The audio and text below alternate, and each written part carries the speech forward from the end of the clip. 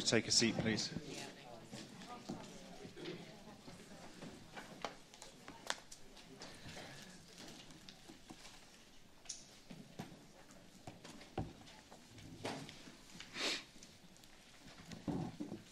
Okay, it is now um, 10 to, and so I resume the hearing.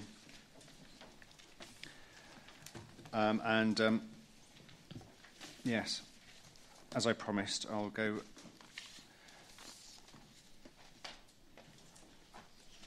to the question of um, the AONB. Um, this is uh, the, the, we're already at the third of my questions for today. Um, are the uh, allocations deliverable having regard um, to, in this case now, environmental or other constraints? Um, yeah, and I think that overlaps probably with issue 10.26 as well, so I'll take those things together. And 10.26 um, is are the proposed allocations justified and appropriate in terms of the likely impacts of the development? So this is all about impacts of the development and environmental and other constraints. As I say, we'll take the AONB first of all. Um, is that you, Mr. Smith? Uh, Ms. Symes. Thank you, sir. Um, as um, pointed out in our statement at paragraph 22, um, we have a statement of common ground that's um, signed with that's ED 52 with Natural England, where it is agreed that that they do not consider the Luton sites to have a material impact on the Chilterns AONB or its setting, as confirmed by the landscape assessments accompanying their pl- planning application. So that's obviously in terms of more detailed assessments that's been undertaken. We've also prepared, you will recall that this issue was raised previously um, about the proposed boundary um, application that's been put in by the Chilterns AONB, um, and we have prepared a note to that effect. That's at ED 89.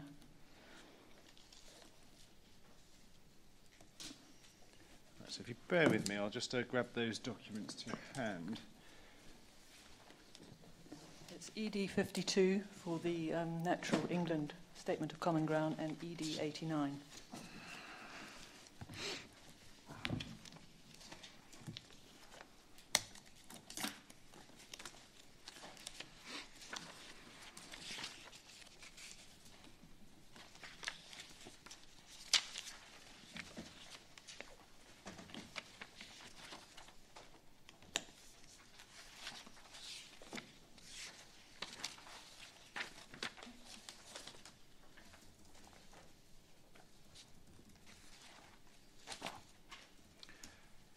So, which paragraph was it in the Statement of Common Ground?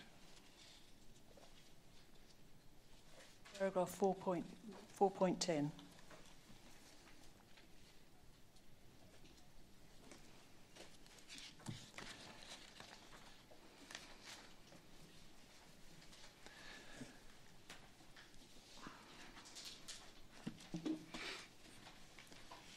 Right, okay. Um,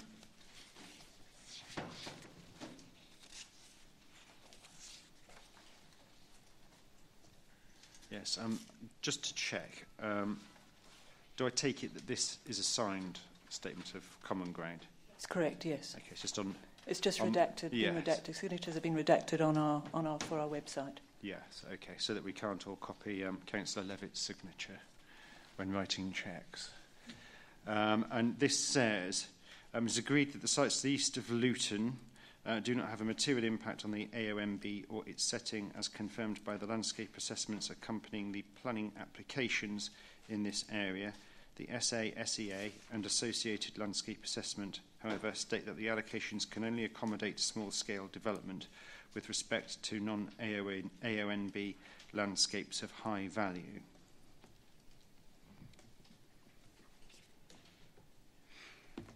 Um, what does that mean when it talks about um, the allocations can only accommodate small scale development? That's in terms of the actual landscape character of the area, and it, it's, it, the area is, is characterised by ridge lines and plateaus, and it's about actually having a good design in terms of, look, of taking on to con- into consideration the actual landscape character of the area.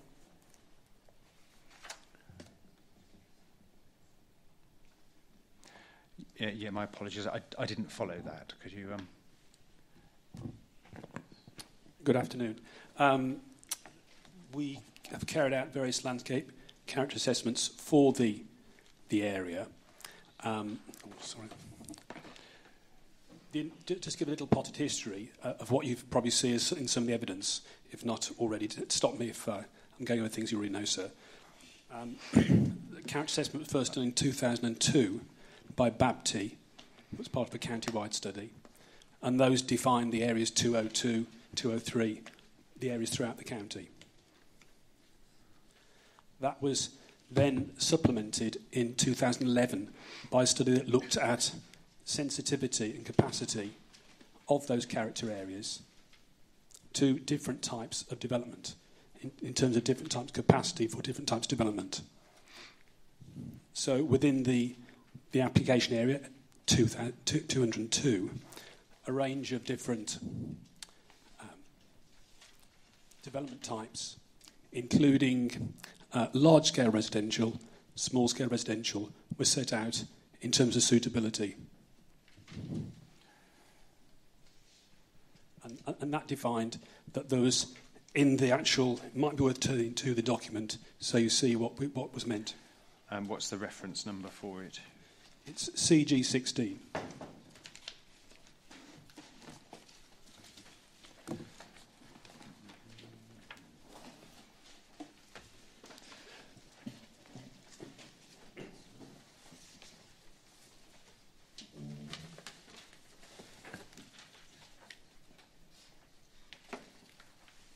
and the page number is 48A.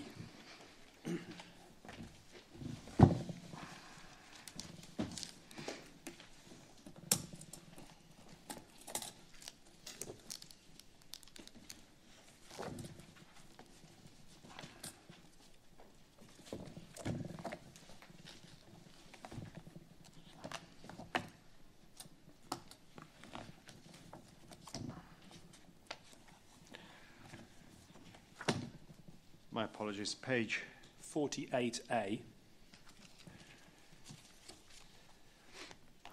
And just for your ease of reference, where there's a page number that's 47 or 40, 40, 48 without a, a, small A or B, that's part of the original assessment carried out by Babtie.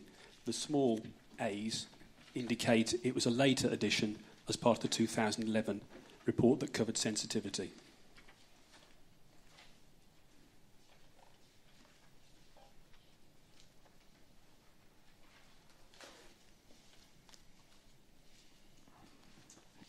In that study from that page, page 48, covers first the broad um, inherent landscape sensitivity, covers description of landscape value, and then there's a paragraph on capacity to accommodate development of different scales.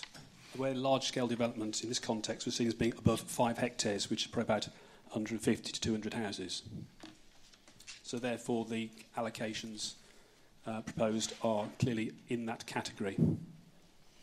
And for that size, it was suggested that there's a low to moderate um, capacity for such development. Various, various guidelines were set out on page 48C in terms of if built development went ahead, what type of criteria would be applied to it. Uh, where was that, sorry? 48C. It's, it's all the section uh, under the headings of Area 202. They're all pertinent to the actual um, the proposed allocations.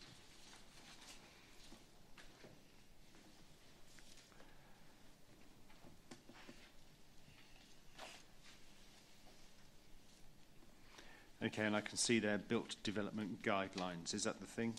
Yes, yes. That, that's right. That gives individual um, descriptions to some of the features that would need to be preserved, but it also gives some indicators that if development did come forward, how you'd try to, uh, to mitigate that. So it, it's an overview description for the whole of a character area. It's not specific development brief, but it helps to guide development within that character area, within the context of it being seen as being having low to moderate capacity for development of the scale proposed. Um, yeah, okay. What, what I'm trying to um, understand is the um, the pertinence or the relevance of the sentence in the uh, statement of common ground with Natural England. Um, the first bit is quite straightforward. It's agreed that the sites east of Luton do not have a material impact on the AONB or its setting, as confirmed by the landscape assessments accompanying the planning applications in this area. Is the second sentence um, that I'm, I'm wrestling with that says the SA, SEA and associated landscape assessment, however, states that the allocations can only accommodate small-scale development with respect to non-AONB landscapes of high value. Well, I, th- I think that there we are. The site would be obviously it's not in the AONB, Yeah. uh, so they're referring to land that is adjacent or within the vicinity of, and therefore I think the allocation would fall within that broader remit. And then it's a question of whether one, how one categorises whether that landscape is of high value. And they don't state exactly if it is of high value. Um, the study that I just pointed you to stated it was of low to moderate value in terms of the, um, the study that, that Council has part of their evidence base. So I think in particular, I, I would suggest as well that in our assessment work, and it's been um, reinforced by other studies done by the consultants as well, are, are that the, the plateau where the housing allocation is proposed is sensitive, but relatively less sensitive than other parts of the land further to the east, and in particular the Lilley Valley bottom, which is much more unaffected by built form or the edge of Luton and has a more distinctive character, perhaps more akin to the AONB itself.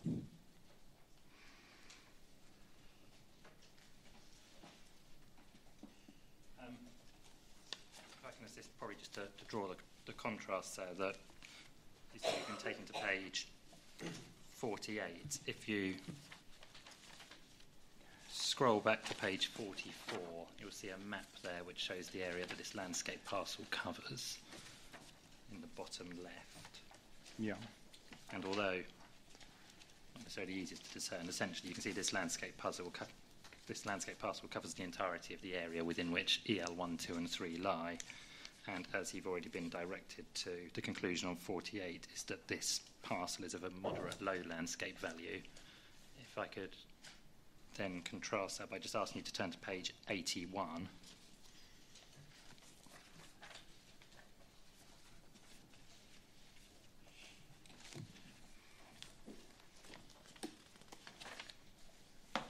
Yep.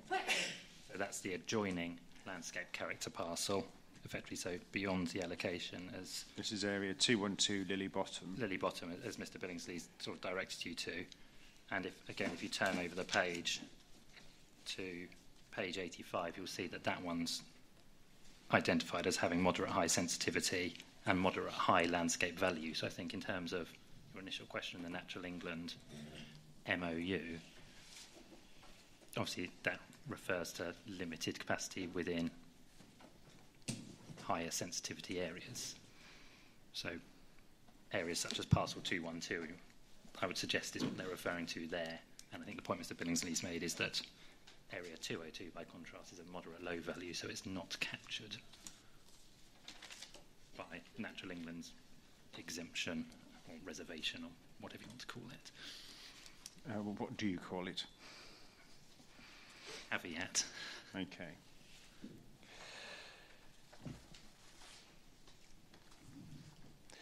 So it's not caught by the, in inverted commas, caveat in paragraph 4.10. Is that what you're telling me? Yeah, that's what I'm saying. Obviously, that refers to non-AONB landscapes of high value, and let's say the parcel within which the allocation, as Mr Billingsley said, is moderate low value. It's the adjoining parcel. Once you get over the ridge that we've already heard about down into the valley, that's identified as moderate high value.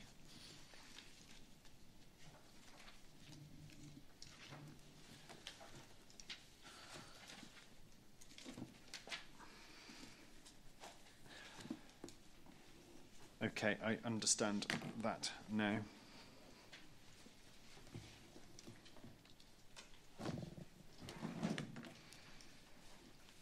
Um, I think um, I, I cut you off, Miss Symes.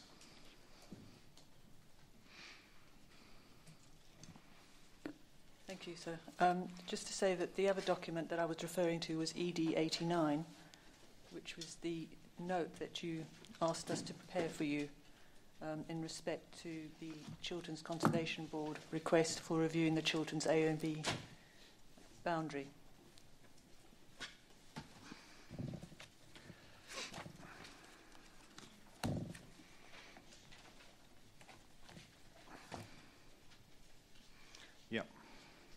In that note, we will we give you a little bit of a background about the Chilterns Conservation Board, and then we also talk about the actual application that was submitted back in 2013, um, which was prepared um, by the Chilterns Conservation Board, and that was to amend or review the Chilterns boundary, not only in North Hertfordshire, but in other areas as well within the Chilterns.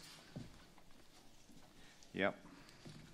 Um, it also makes reference to um, that North Hertfordshire at the time in 2010, um, we we went to our cabinet and, and um, wanted to, uh, well, we were in agreement to investigate the possibility of pr- promoting a review of the boundary at that time. And the application, as said, went in in 2013. But um, since then, the application has been with Natural England, and we have not had any, um, other than the fact that they've received it, we've had no further correspondence or up to date correspondence from them as to at what time they propose to review the boundaries, when it will appear on their, their work programme. So at this point in time, we're still a number of years on, and we haven't yet, um, yet to, to have any formal notification from them.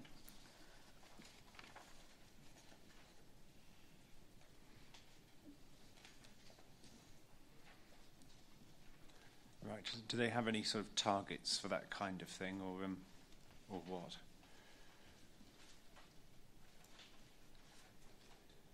I don't think they do, sir. The only all we've done in our note is we've tried to sort of um, draw your attention to other um, applications that they're busy, that they're in the process of reviewing at the moment, which appear to be taking around three to four years.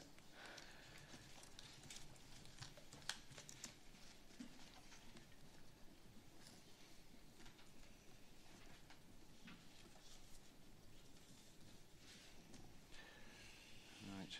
And you can't appeal for non-determination. Okay.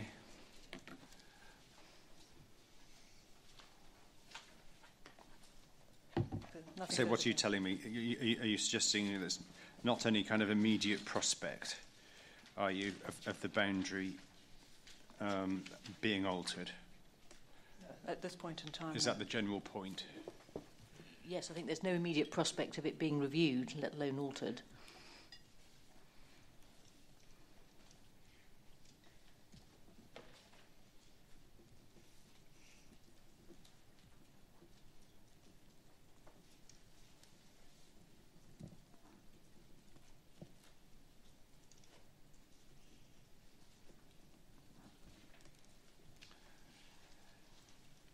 Um, does that seem to be about the size of it to you, Ms Murfitt?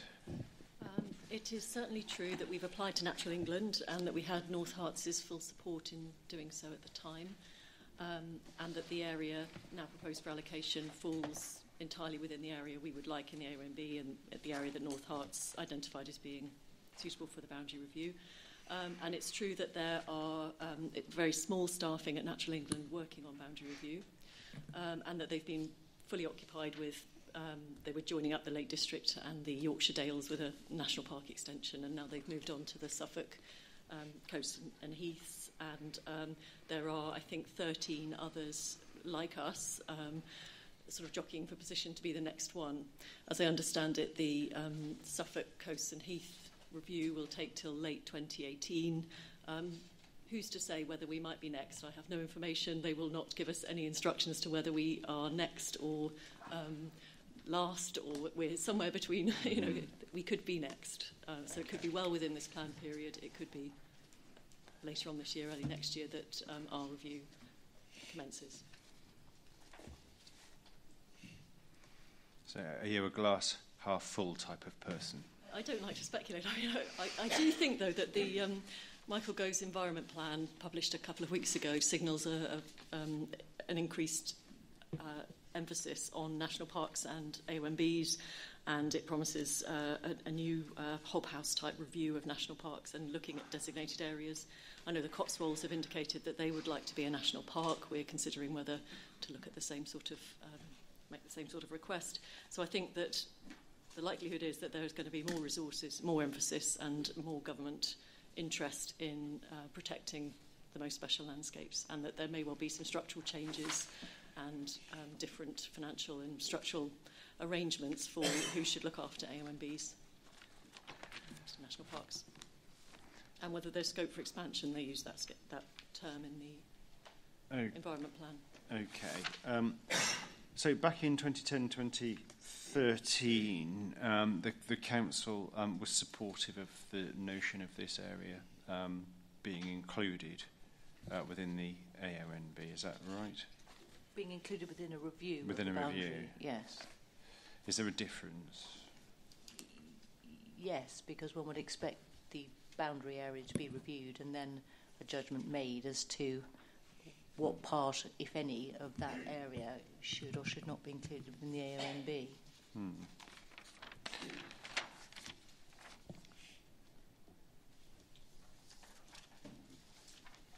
But the council's position on that has shifted? I don't, don't think it's shifted in that we're supportive of, of a review. As I say, I think it's is drawing a distinction between identifying an area within which a review may take place and what the outcomes of that review may be.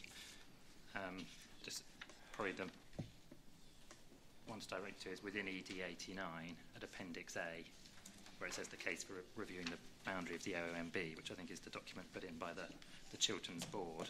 So ED 89 Appendix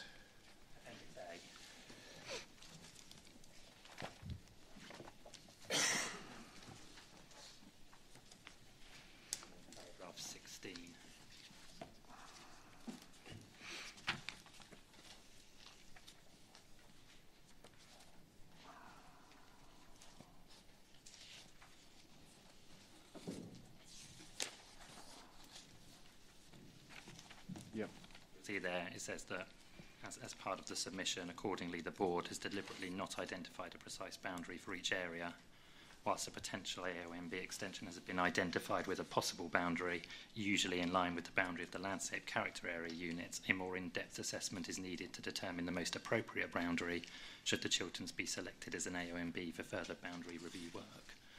So obviously it's not for us to, to second guess Natural England and where that process goes, but just on the landscape evidence we've already pointed you to. Obviously, there's two distinct landscape areas, one of which is of moderate low sensitivity and one of and value, and one of which is of higher value, which obviously is beyond the proposed allocation.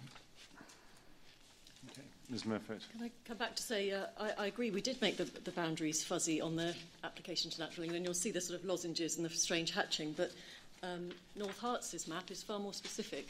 Last page of my statement shows quite a clear boundary with no fuzzy edges, which does include this area for boundary review. As a, so they agreed that this area was worthy of consideration for boundary A and B bound, boundary review.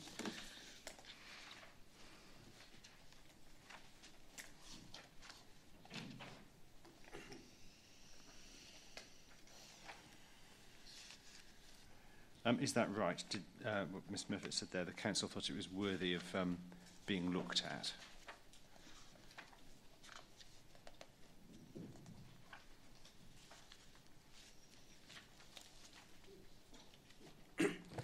I think, yes, it's, it's worth being looked at.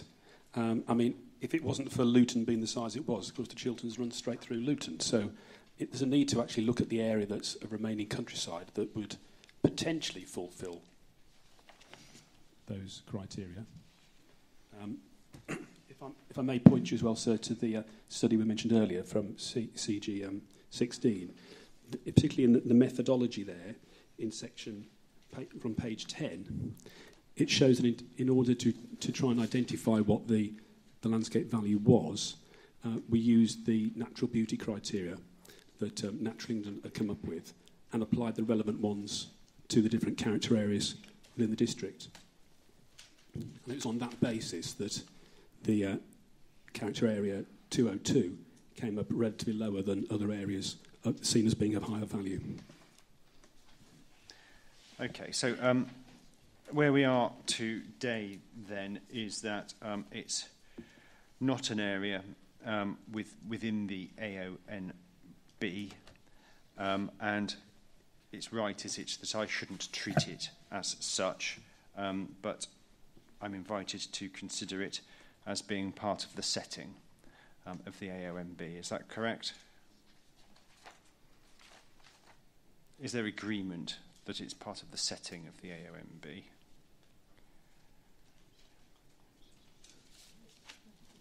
I think it depends on what you mean by setting, really. I think, Well, that was going to be my next question. yes, um, You, you tell me. th- there, there are probably, there's one identified viewpoint within the AONB. Um, I think it's viewpoint 12 within the Bloor Homes um, landscape assessment. That's just north of the A505, and uh, it's one of the viewpoints you should go to, sir, to, uh, to see. And there's therefore, there, there would be, in my view, a, a modest at most impact from that particular viewpoint. Um, it's potentially likely you might see towards where the school is to be located. There's potential, so one has to factor that in. Um, so that's one that's worth looking at. But I'm not aware of other viewpoints within the AONB. So there's a limited impact on the setting, uh, particularly from a visual point of view. In terms of character, the remainder of the, the AONB would remain unaffected. Okay, I'll, I'll cut to the chase. What, what I'm just trying to establish um, is um, the thought process that I have to go through. Um, and I don't have to decide, do I, on the impact of this development on the AONB as such, because it's not in the AONB. Um, I'm invited um, by Ms Murfitt to um, consider the impact on the setting of the AONB. And the, the council in, in that regard um, points to the um, statement of common ground with Natural England, um, which also refers to the, the AONB or its setting, and thus um, in that common ground, the question of setting is one that's addressed. Have I got all of that right? Ms Murfitt. Okay, um, if I could help a bit with the definition of what the AONB setting is. Um, I've referred in my statement to um, a position statement that the Chilterns Conservation Board produced a number of years ago called Development Affecting the Setting of the Chilterns AONB. And um, in my statement, I've uh, quoted the, the definition. So if I could um, read that to you. The setting of the AONB is the area within which development and land management proposals, by virtue of their nature, size, scale, siting, materials, or design could be considered to have an impact, either positive or, ne- or negative, on the natural beauty and special qualities of the Chilterns AONB. Now, of course, there's a, a duty under the CRoW Act to um, have regard to the AONB. That applies to us as the Chilterns Conservation Board, to all public bodies, including the Council, and to you, sir, as a planning inspector. I, I Um, will be clear that I will have regard to the you. setting of the AONB. Thank you very much. Um, and the instruction is, is that, uh, in, in the CRoW Act, is that the, that duty does not just apply within the AONB. The only consideration is whether land in the AONB is affected, not where the effect originates. So, as in this case, where you've got a large urban extension near the AONB, um, there, you have to consider whether there will be impacts on the AONB. What I think is a bit of a flaw uh, that I think, I'm afraid, uh, Natural England might have fallen into is considering these impacts to be only visual and only to do with landscape and visual impact assessment. They refer in the Statement of Common Ground to um, the planning, the, the landscape assessments accompanying the planning applications. Is that it? Is that all we've got? Um, and uh, that isn't enough to assess the setting. There's other ways that aren't landscape, that aren't visual, where that could affect the AONB. So if there's a large amount of new traffic generated by a development that is going to go through the AONB, that isn't a visual impact. It's a air pollution, tranquility, noise, light pollution issue. Um, if the development means that Character issue, is it? well, yes, it, it will harm the. It will also harm the residential enjoyment, the sorry, recreational enjoyment of the AONB. Um, when we're on that point, there's also the issue of um, people from uh, within the new development increasing the recreational pressure on the AONB and making sure that that um, is not going to harm the special habitats and uh, character and history of it. There's also issues of water abstraction for the development. Um, you probably know that there, there's a, we have rare chalk streams within the Chilterns. Uh, we've got nine of, of chalk, chalk streams. They're a very rare habitat. Um, most of them in the world are in southeast England, and we have the largest number in the Chilterns. Um, the River Ver is such a chalk stream, and um, a lot of the water from the River Ver is being abstracted to serve Luton and Dunstable. Um, we have a chalk streams officer at the board, um, and uh, he did some stats back in February, sorry, January, and he says 44% of the total length of the River Ver is dry. It shouldn't be dry at this time of year. It's an abstraction issue. Um, more development, more water use, more abstraction, more harm to the chalk streams. Another issue is that this water is then treated and not put right back in the right catchment. It is going into the Colne um, and the River Lee, so there's an issue there. Um, air pollution leading to more nitrogen uh, by the roadside, harming plant diversity, leading to things like docks and nettles becoming more predominant and, and harming the chalk grassland species loss of tranquility. The effect on rural lanes has already been well covered this morning, and um, I would just encourage you, sir, to, to go along Lilley Bottom and to enjoy the um, Chalk Hill Lane and Stony Lane and their particular character as they are now. Um, Lilley Bottom Road, particularly, I would describe as just an absolutely go- glorious piece of countryside with wonderful views, very unspoilt. Um, so, yes, the, in all of these ways, the statement of common ground is, is, is flawed between um, Natural England and the Council. It is very partial in what it covers. You picked up very astutely the second sentence, which says um, that the landscape assessments uh, state that allocations can only accommodate, sorry, state that this land can only accommodate small scale development. I don't understand why we've been slightly misled a few minutes ago into, into saying, well, that refers to um, the Lilley Bottom landscape character area 212. No, it doesn't. This is referring to um, SP19 and Landscape Character Area 202. So would you um, just bear with me a moment?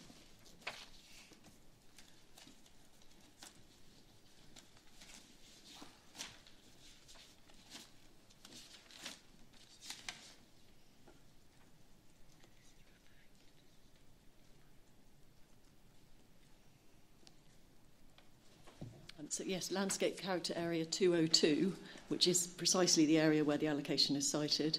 Um, the landscape capacity assessment concludes that large, large urban extensions and new settlements would not be entirely appropriate. And if I could read from it, it would be of inappropriate scale and would be likely to result in the coalescence of Luton and the villages and hamlets within Breachwood Green Ridge. Visual impacts could also be high due to the elevated position of the character area on the ridgeline plateau, particularly if near the plateau edge, and we've heard that the school is likely to be there. Um, increased housing development will be likely to affect the existing narrow twisting lanes, which could erode the character of the landscape. Um, extensive development could also disrupt the rights of way network and could reduce accessibility to the countryside. So it's precisely this area and um, the sustainability appraisal and SEA refer to this, the landscape assessments. The council's own work says that this is not an area in landscape terms that is suitable for large-scale urban extensions. And until quite recently, the council. Sorry, just just bear with me. Yeah.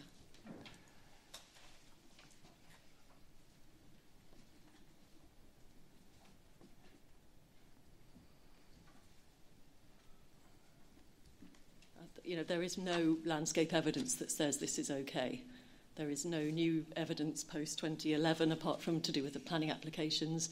There is no evidence base uh, up to date that looks at the combined landscape um, impact of this allocation.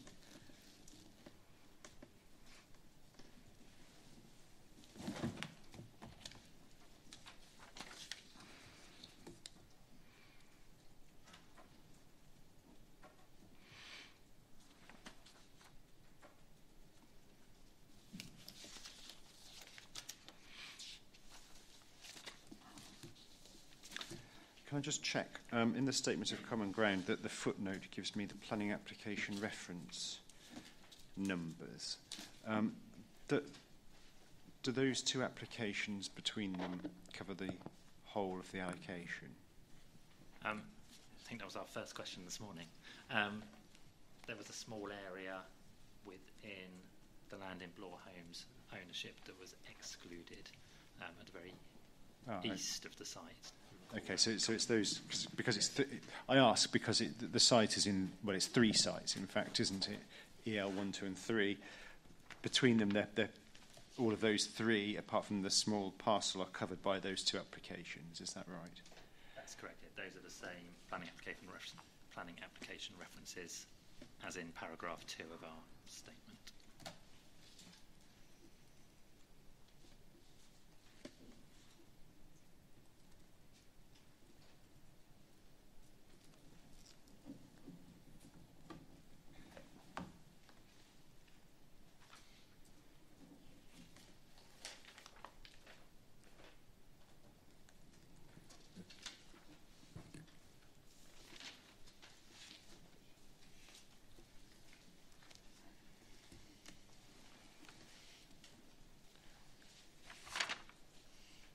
Um, did I did I cut you off, Ms. Murfitt? Oh, um, I could go on. Um, I would just like to say that we don't have a statement, a statement of common ground with the council. We weren't asked for one. We would have been very happy to um, see if we had any common ground over this, but um, I think as, as the statutory body responsible for the AONB and working with councils, we should have been approached. It should have been discussed with us at the earliest stage. It wasn't. Um, Natural England have put this sort of one-liner, two-liners in at 410, um, and it refers to a council's own study which says that only small-scale development is appropriate here.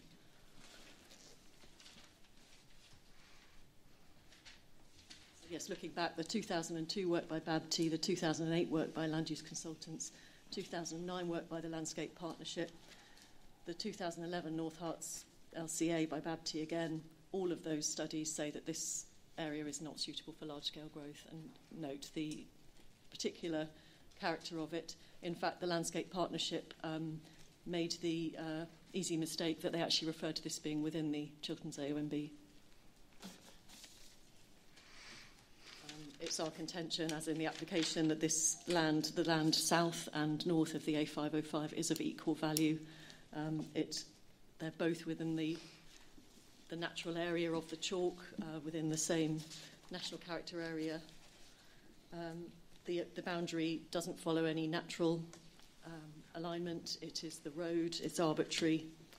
Um, there's no discernible difference in the landscape between them, and this is one of the most unspoiled parts of Hertfordshire. The particular timeless quality um, is rare in this part of the country is because it's been managed by large estates and it's managed to avoid having those sort of discordant features. I've never seen such a sharp urban rural transition um, as east of the Wigmore estate. You've literally got uh, a suburban housing estate, then a lovely thick hedge, and then beautiful unspoilt countryside.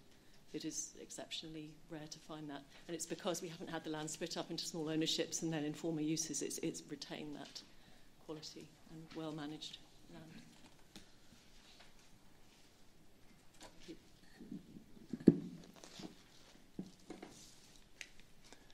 Councillor Barnard. Um, firstly, uh, I agree with absolutely everything that, uh, that Lucy has said here. M- my apologies. Could you um, just bring, bring your microphone closer? Pardon. Uh, firstly, I, I, I'd just like to say that I agree with ev- everything that Lucy has said here. Um, I have been a councillor since 1991 um, and therefore uh, was a, a, a councillor and on the planning committee, etc. Um, uh, when the council approved um, and supported the Chilterns Conservation Board application to um, increase the size of the AONB to travel along the Mimram Valley, which is Lilley Bottom, um, and including the site at the east of Luton. Um, uh, and, it just uh, strikes me so with with the application we know that Natural England are um, are not the fastest people in the world um, and who knows the right hand may not necessarily know what the left hand is doing at any one time um, but with the current application to redesignate this area um, it, it, it just seems that it would be premature um, to discount the potential um, that this should be AONB because um, when it's gone, it's gone. Um, and, and I really think that uh, this is uh, a premature move. Just because they haven't decided it, let's look at it in another way. They haven't turned it down. Now, um, are, are, we talking about the green belt as well at the moment, sir? No, not yet. No, fine with that. Um, they're my observations of the AONB, um, and uh, I, am particularly keen that um, the, the AONB uh, be recognised adjacent to the site. Um, I actually live on Lilley Bottom. I have done for 35 years. It is extraordinarily beautiful, even though I live there. Ms. Cottier.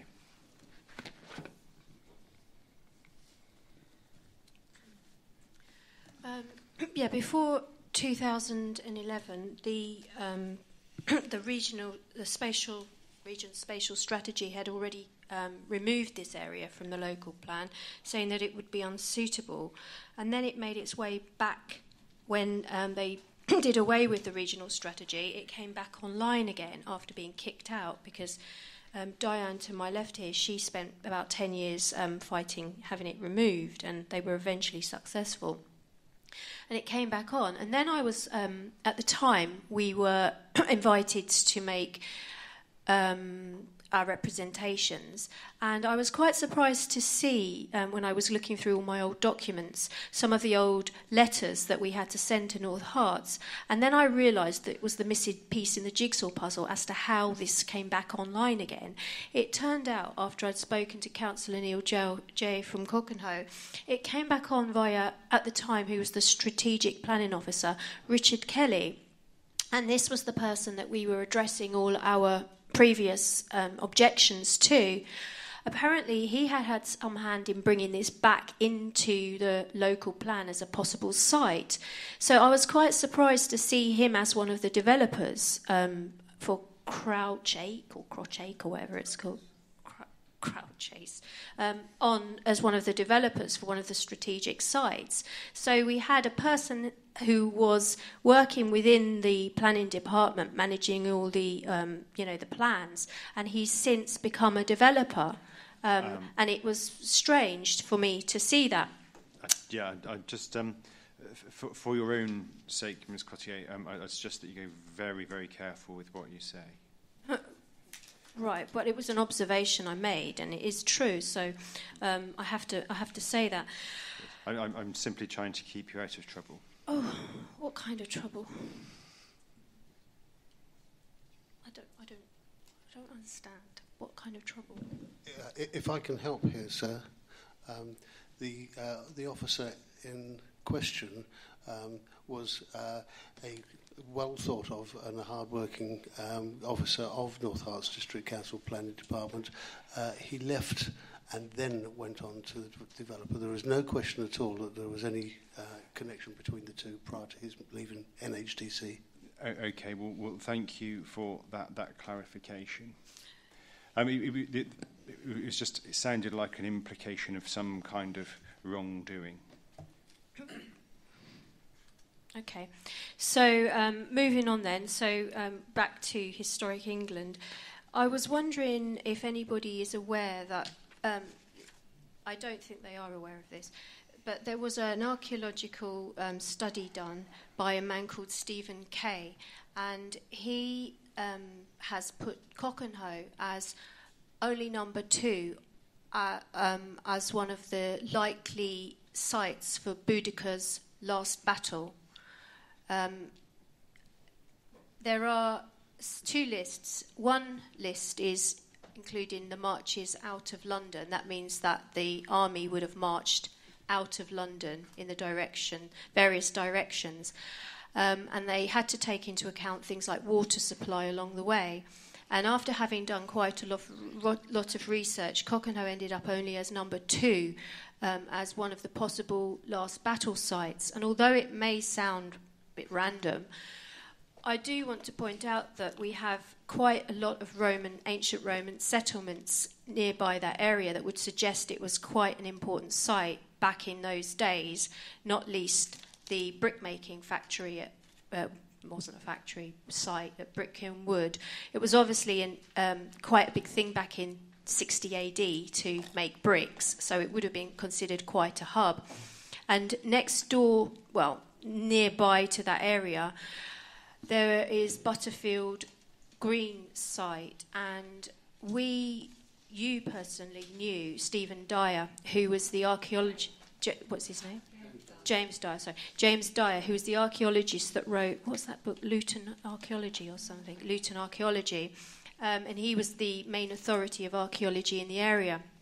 And it was a very sad story because he put this stuff all in his book that Butterfield Green, they uncovered the largest Roman ruin in the whole of England there. But they, for some reason, I don't know, he didn't make the case very well or he didn't communicate, they went straight through and dug it up and put Butterfield Green on top of it. But if it was indeed the largest Roman ruin in the whole country, that would suggest a pretty large settlement once existed there, along with the brickmaking factory. So, this idea that perhaps it was an ancient battle site seems to be um, supported by that because she would have come in and targeted a really large um, community of Romans rather than just a small one, and her last battle would have been quite a big endeavour. So there are other, um, in earlier documents, I've found quite a lot of archaeological studies that were not mentioned in the later um, documents relating to this plan. And um, there were quite a lot of sites of interest dotted around EL um, 1, 2, and 3, but I didn't find them in the later documents. But I did put them in my earlier objections for the, um, out, the, the, local plans consultation, um, but I mentioned them in my local plan objection, although I didn't give, provide the map for those. Um, but they were all they were littered across the whole two fields and beyond.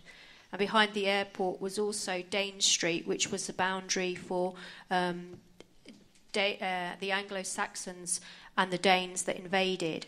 So the area was not just an insignificant spot, taking all that into account. So I think there's some heritage beneath the soils there. And under um, Wigmore Valley Park, which is the, the, landfill, which is now the site they want to dig up, Roman ruins were also discovered there as well.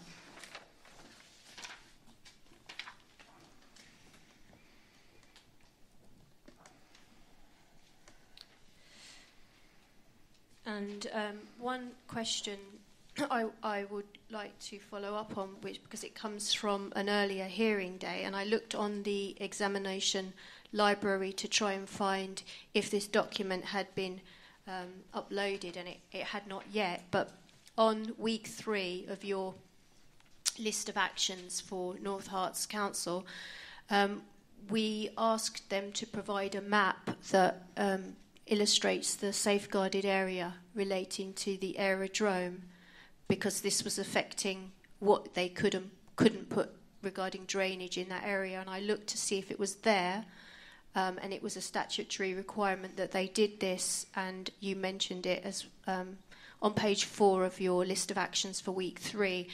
I can't find it. So is that not there, or am I missing something?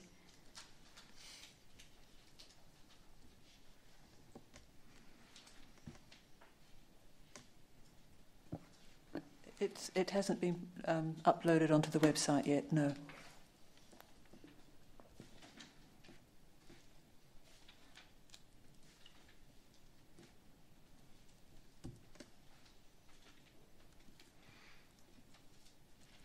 drainage is quite a problem on that site. They've got people drilling over there at the moment, and I had a talk with some of them, and they told me because it's agricultural land, um, it, it's very um, difficult to know how it's going to react to water, and they know it's a waterlogged area, so they're drilling down right now to find out. But we can we, we can we know that it's um, an area that suffers with drainage problems because it's clay based and uh, 10 inches of water gather on the road at the at the point well the boundary between Luton and Hertfordshire, there's a spot there that becomes like a lake, and then further up into Cockenhoe, that also becomes like a lake during when it rains.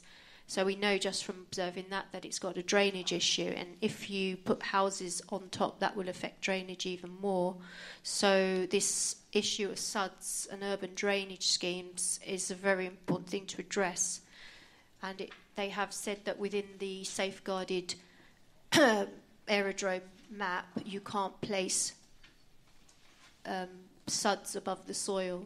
They would only be able to go beneath the soil and that's um, it's a requirement to Annex 3 of the directive called, I can tell you it again, I did mention it, the Town and Country Planning Safeguarded Aerodromes, Technical Sites and Military Explosives Storage Areas Direction 2002.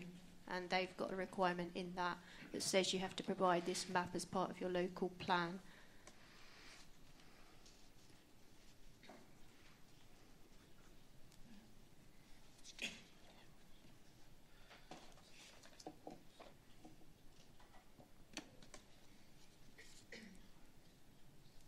Um, yes, well, um, just to answer the point, it's on, it's on the list of actions um, to, to be done.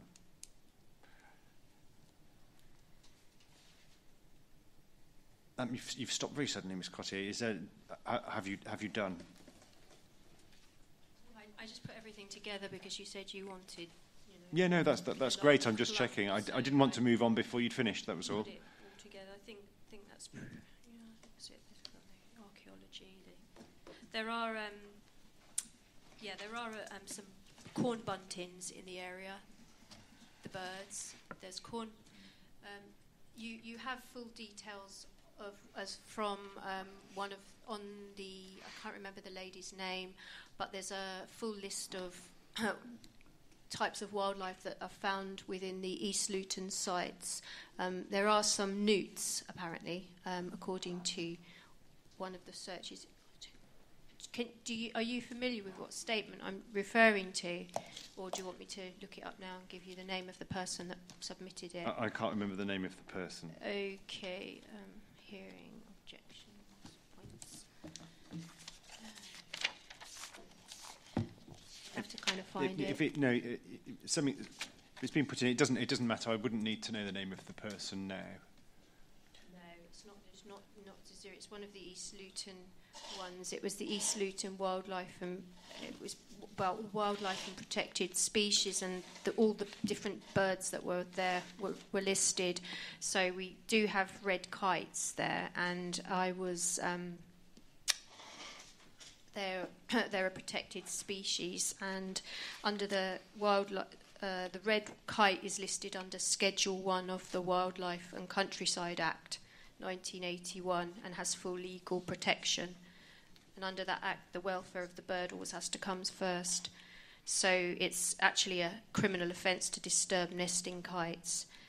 Um, and they're extremely sensitive to human activity close to nesting areas, especially in nesting seasons, because they'll abandon their nests and chicks at the slightest disturbance. And um, a lot of the residents who I'm supposed to be helping relay messages from, they've observed lots of kites in the area. There were at least four talking about it to me this week, um, saying, "Yeah, we've seen them. Um, they're there." And it's a documented fact that they are there, and I think the Chiltern Board also knows about this, and the, the, the Society for Birds also. And bluebells are in the woods as well, and they're also protected by the Wildlife and Countryside Act 1981.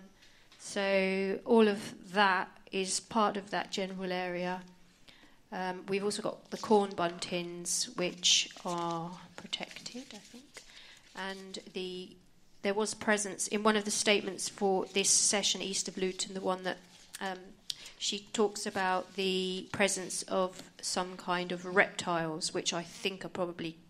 Uh, no, they were actual reptiles. There's actually reptiles in one of the sites. It's on um, the database for, I think it was Natural England's uh, database. I, would have to look up her statement. It's been submitted to you. You'll know the one that it is, but it, there are um, specially protected reptiles in within this area, and it's most likely the newts, I would say, because it would have because they're the really protected ones, and I think gold-crested newts are the ones that are really protected, very rare. So they're within the area as well. That pretty much covers it. We, oh yeah, green space comes later. Yeah, I'll, I'll be dealing with green green belt um, afterwards. Um, M- Mr. Wood. Uh, just carrying on from where that left off, actually, we, we've done quite a few surveys in that area over the last few months. Um, it is quite diverse in biodiversity terms. Um, what I'm really talking about are the badgers. We've found quite um, significant badger implications in that area. Box um, brick kiln wood has got at least four setts that we know of, um, both of um, which can I- can- Mr. Wood, can I, can I just ask um, that, that you not be too specific about the location of Yes, badger setts? It's something I was going to mention actually. We've got all the coordinates for these things, and we do protect our setts quite rigorously um, because there are people out, still out there doing nefarious activities, um, lamping and that sort of thing. Um, But that, that's why I asked that you're not yeah, specific. yeah. In fact, um, a group was done for badger baiting just a few weeks ago. You know, which uh, which is quite rare to get convictions for that sort of thing. But uh, one was brought and was successful.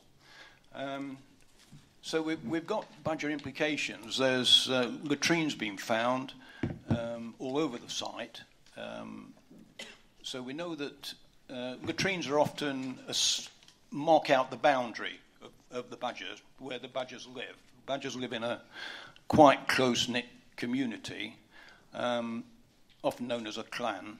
And in fact, they couldn't have been there for many generations. You know, the same clan can live in the same area and will mark the boundaries with latrines. Latrines have been found all over the place.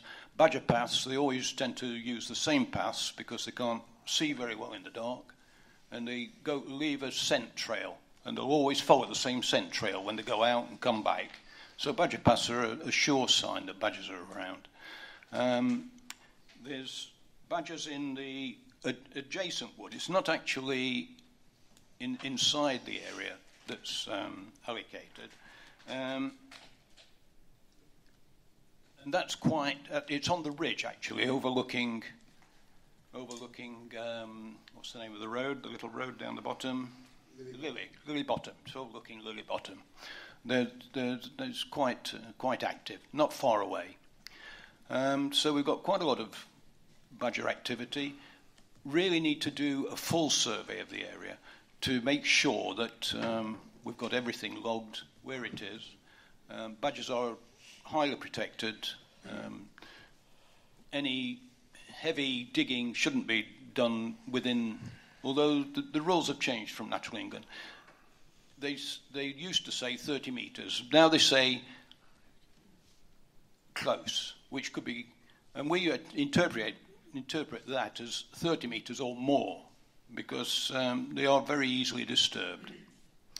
Um, so we, we, we have got concerns with, uh, with the development.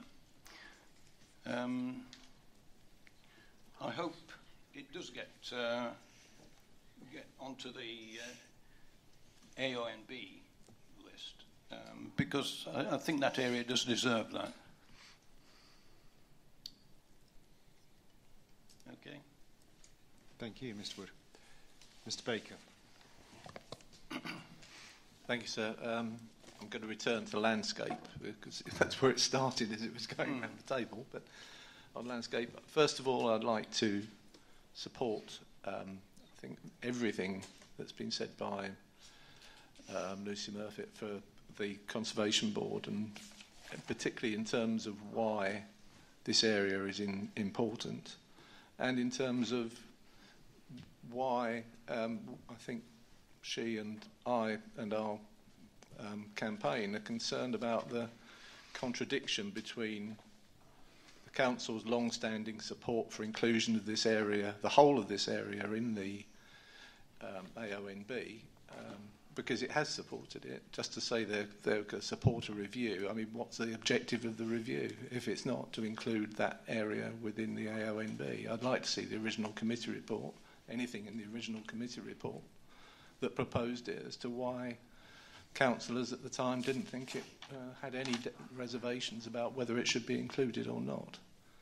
Well, what I what I um, what I'm therefore very disappointed about is why the, the way that the council has selective, selectively uh, attempted to use the evidence of their own studies to justify what is clearly a development that would compromise the, the landscape of the area.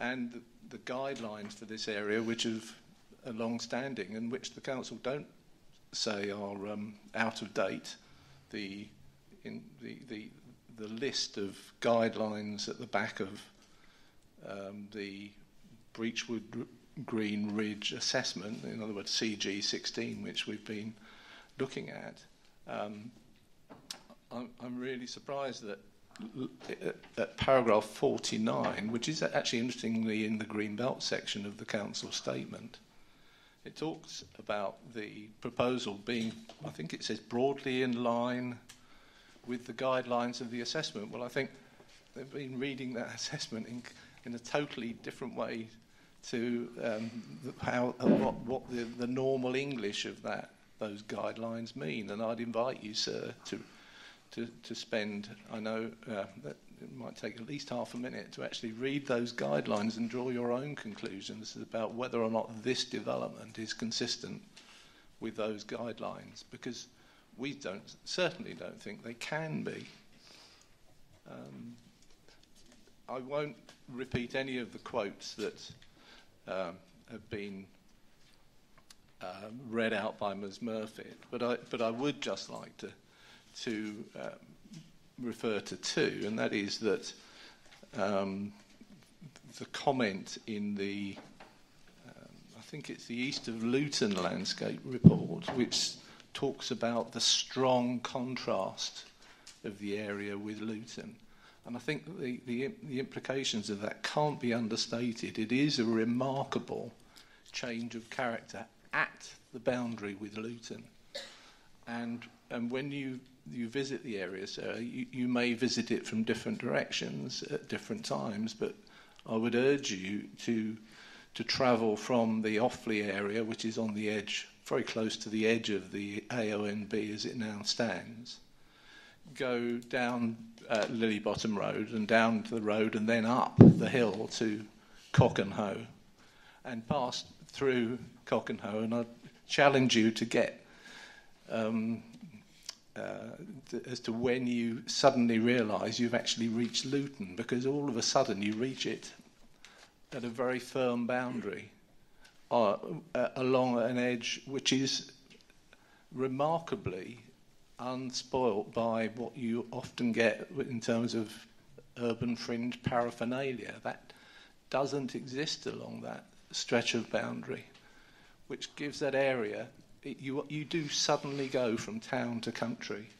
and a tranquil rural area, and then very soon to the, the, the small, I hasten to, I don't like to use the word villages because they're hardly big enough to call villages. I know combining, council combining Cockenhoe and Mangrove Green kind of almost makes them the size of a, they're very small communities with a, their own distinctive character that the council's assessment would be threatened by large scale development.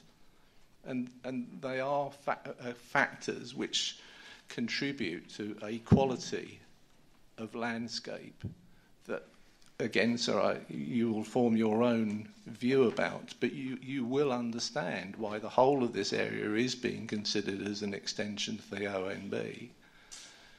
And, and that I think you will also agree that visual in- impact would be high, as said in the council's assessment, due to the elevated position of the character area on a ridgeline plateau. And, and all of those conclusions, I think you'll find, are, are right, and, and that you will conclude that it, it's a great, it would be a great shame to compromise that area before there's been a proper opportunity to consider whether or not it should be subject to more strict protection under the um, uh, as a, an area of outstanding natural beauty.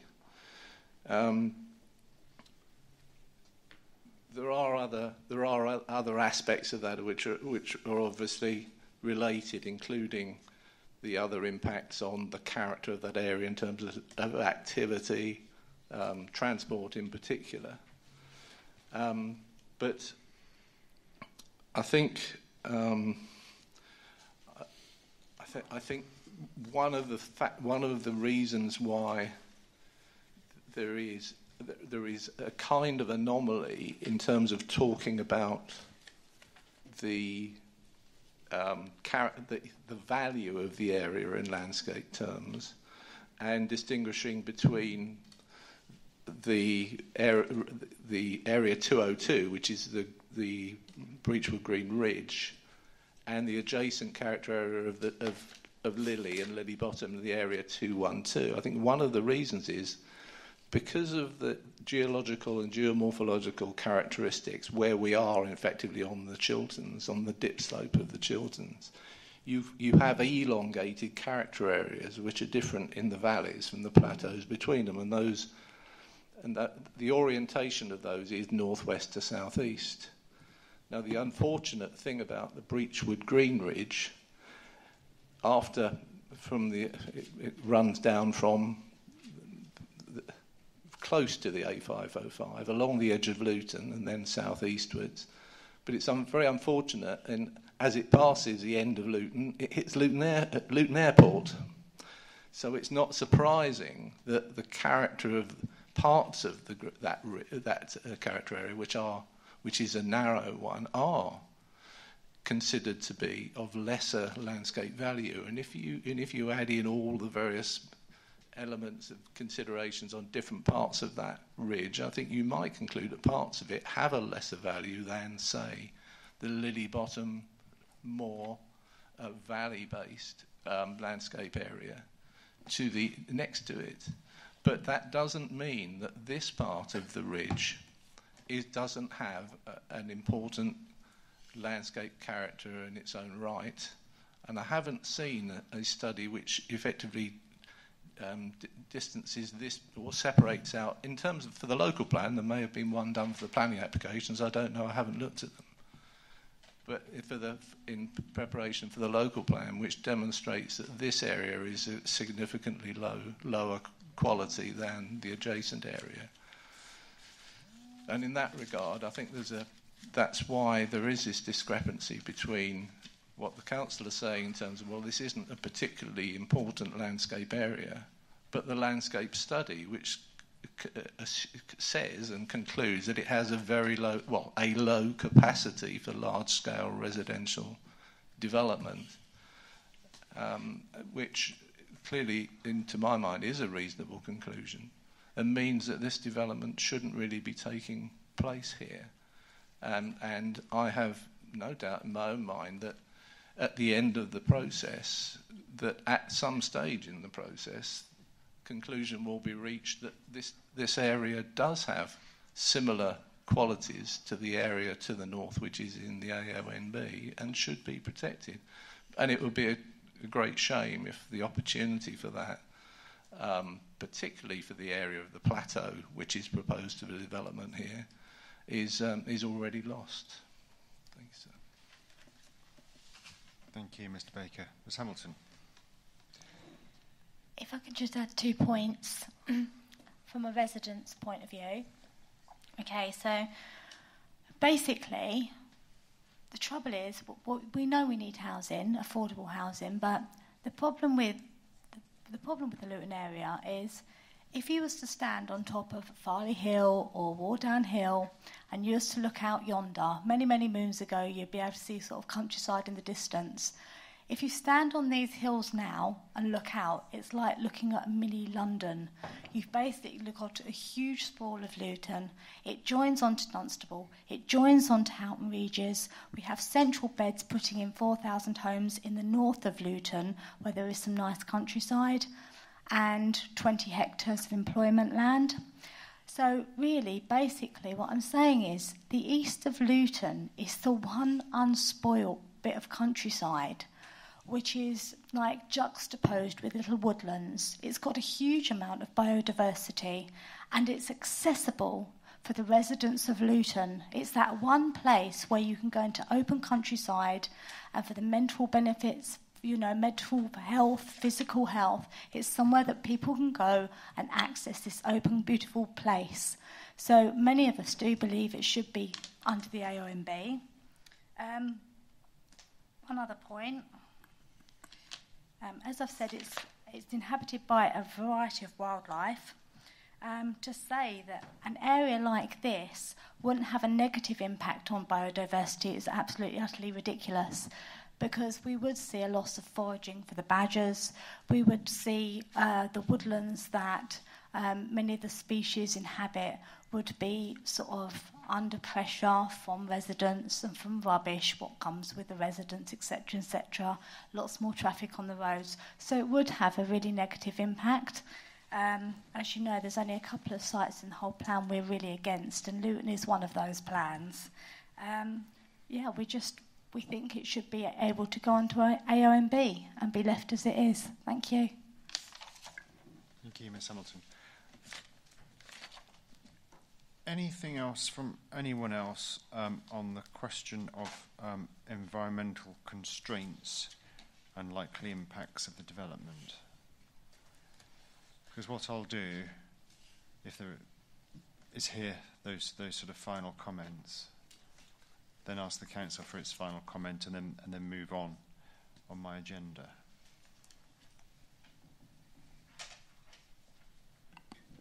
No takers. So, do you want us to respond now or, or wait? Um, I, I'll, I'll, I'll take you just before the council. Okay. No? Mr. White. Uh, could I perhaps ask um, colleague here, Elizabeth Fry, to respond first, principally on landscape and visual matters, and then I'll try and mop up the other issues that have been raised. Wait a minute. Um, Ms. Cottier following on from what Nikki said about how it's respite for the residents, um, it's not just um, something that we, we are very attached to that area, and it's not something we're attached just because it looks nice, but we actually need it for our survival because it's um, the only place that we can get oxygen from. And uh, the um, the problem of getting oxygen is projected to become even more difficult, and we need oxygen to live. Um, and green space standards in um, Luton are deficit currently. And the Luton local plan knows this. And in the Luton local plan, you can see a chart on page 151 which summarises the typology of green space for us in Luton and gives you um, the current requirement um, and what the current deficit is for us in Luton. And just to give you some idea, amenity green space should be 82.1 hectares, but we've only got 54.1, which is a deficit of 2804, and we're about to lose our park on top of that. So, in terms of seeking balanced outcomes for um, the economic needs of the council, but also the sustainability and well-being of the communities. I think it's a good compromise to allow the area of outstanding natural beauty to be passed so that we can protect that area in exchange for what we're going to have to absorb from the expansion of the airport, which is going to bring economic um, in economic benefits to the town, apparently. And that seems to be a fair payoff. Otherwise, we've had everything taken from us in that area, and that simply I, is, is unacceptable because we're a large area. We deserve to be able to access green space just like anybody else in the country, and we shouldn't be imprisoned within walls of urban sprawl just so that we can somehow say, oh, we've built 2,000 houses for Luton's unmet needs. Because housing needs are not the only needs that we have to think about here. And before there are houses, we have to breathe. And if we no longer if we no longer have any trees to produce the oxygen, where is the oxygen going to come from? It won't come from anywhere, and we'll be poisoned. And the air quality is already bad enough as it is without making it worse. So I think it's about striking a balance between allowing the progression of the airport responsibly so that it can benefit the town economically, and that's what the council and their company, London Luton Airport, and the operating company have all said that they don't want this to conflict with the economic interests. And yet, on the other hand, the people in that area also have interests. So it seems to me a logical balance to draw the line at the boundary and say, okay, we've got houses come online now in the west and north of Luton. Um, we've also got empty houses. We've just found 800 empty houses in um, Luton. That we can make up that numbers from other areas that when they were set did not exist as an opportunity, but now they do, and leave that stretch of land the way it is, so that you know that every. I feel then that's a balanced compromise. Uh, anything be other than that, I don't feel it's fair on the people that are already there. Me being one of them and I represent the views of all the people on my mailing list, four, 500, and we, we're growing every day. There's 1,500 on a Facebook page. Everybody's worried about this. So that's why I'm here representing those views, because many of the people can't come because they've got jobs and they're working, and I'm supposed to be doing that too, but haven't been, as you know. I do. Thank you, Ms. Cotier. Uh, Ms. Fry. Um, just picking up on a few of the matters um, or issues that have been raised. Um, first of all, the AONB is not um, adjacent to the site. Um, if I can just point you to the direction of Bloor's Appendix D, Figure 5.4. That's a 10 statement.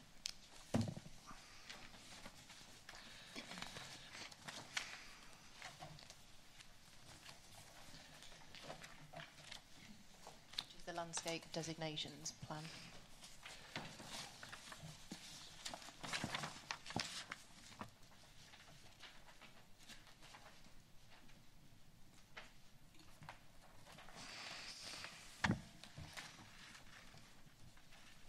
Yep.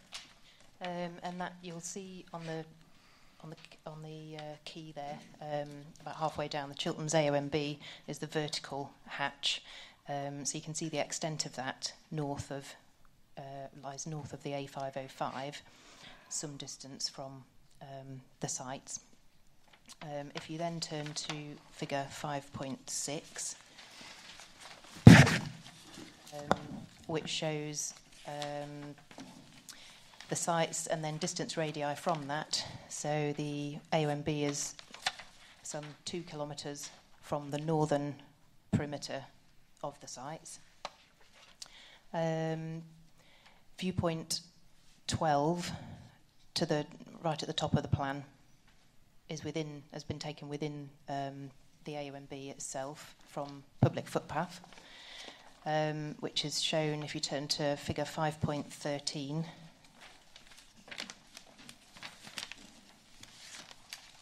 Viewpoint 12 from public right of way Lilley 004 um, demonstrates clearly the ridge line looking from the northwest. Um, the strongly planted ridge line and the, the the site is not visible. None of the sites are visible from that from within the AONB.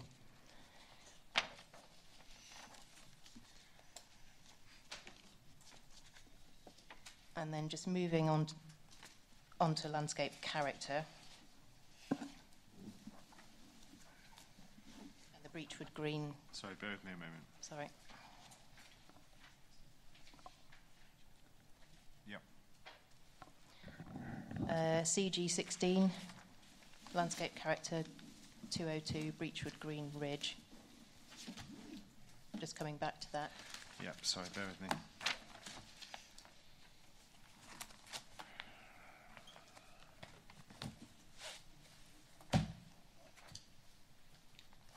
Um, what page?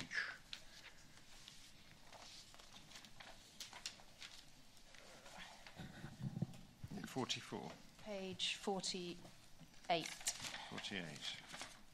Uh, well, which, which states that, as we've already heard, that the, the landscape has, mo- has been assessed as moderate to low landscape value. And then page 48C um, recognises uh, the strategy, the, the, the character area falls within the strategy to improve and restore the character So which page was of that again? area. Page 48C.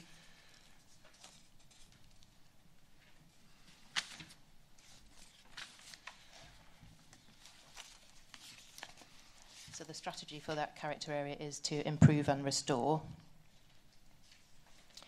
Um, and the development of the sites provides uh, opportunity to deliver several of the landscape management guidelines and built development guidelines.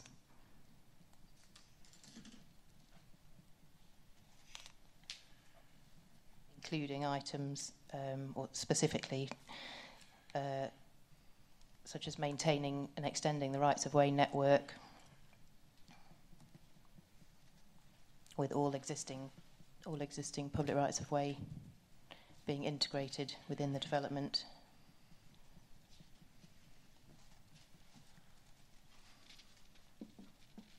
And planting of appropriate broad broadleaf woodland and vegetation to screen new development.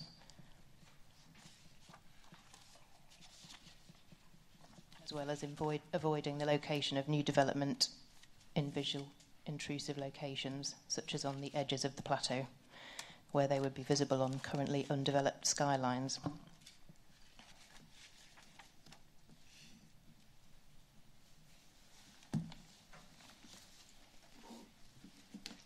And then just going back to figure 5.14 of the Matter 10 statement. Viewpoint 15.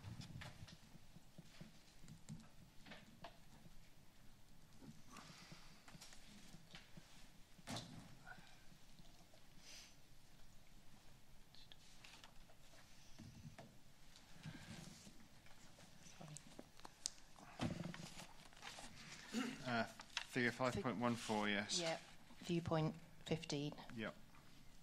Uh, that demonstrates the, the screening of the site from along, uh, well, from the Lilley Bottom, from the road um, to the east of the site, um, and that demonstrates the strong, strongly wooded uh, ridgeline which screens screens the sites from that location.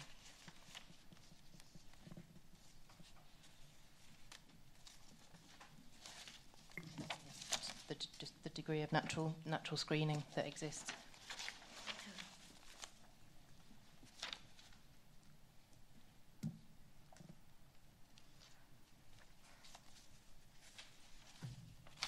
Everything. Thank you. Mr. White. Thank you, sir. Um, there's quite a lot of things raised. I'll try and respond to them quickly. Um, yeah, I mean, uh, you will bear in mind, of course, that um, it's, it's the council's job to uh, respond to the points. Or clarify based on our knowledge. Um, I suppose a point I made perhaps earlier that um, in response to the issue of pressure on the AONB, well, this housing is for Luton's need, and given that the AONB wraps around Luton, if the housing was to be anywhere in Luton, you could argue there'd be an increased pressure on the AONB. It's not a specific point to this site. Plus, there's no evidence submitted to say that that would be the case. Um, in terms of water abstraction and um, pressure on the chalk streams, um, our uh, surface water drainage strategy um, is for recharge of the aquifer, um, which has been agreed with the Environment Agency through deep bore soakaways, and there will actually be a moderately beneficial effect on the underlying aquifer. Sorry, just, uh, just Sorry. bear with me, Mr. Mr. Wright. Um, yeah, sorry, I, I, I um, got it that, um, that your, your strategy is um, recharging of the aquifer. It's the aquifer that feeds the chalk streams. Yeah. Um, as Miss Moffat's point about the river being dried up. Oh no, I understand the point. Yeah. I just didn't hear what you said Sorry, afterwards. Apologies. Apologies.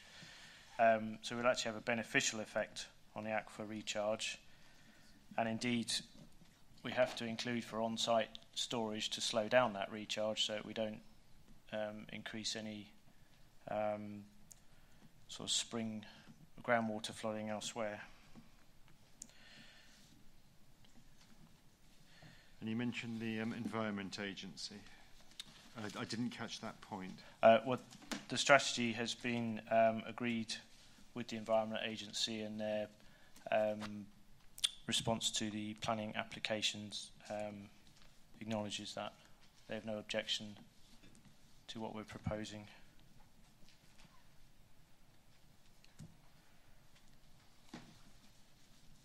And equally, that there will be additional biodiversity benefits associated with all the new suds that we'll be putting in as part of that strategy.